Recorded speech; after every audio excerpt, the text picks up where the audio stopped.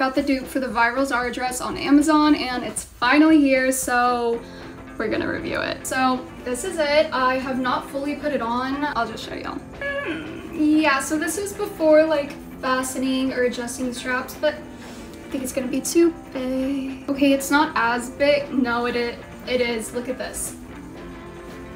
Like, to be fair, I probably should have prefaced with this. I am an extra small, and they didn't have an extra small, so I got a small. But I think this is about what a small would be. But if you're an extra small, I wouldn't get it unless you're willing to get it tailored. I'm just gonna tailor it myself because I still love the fit, just not on me right now.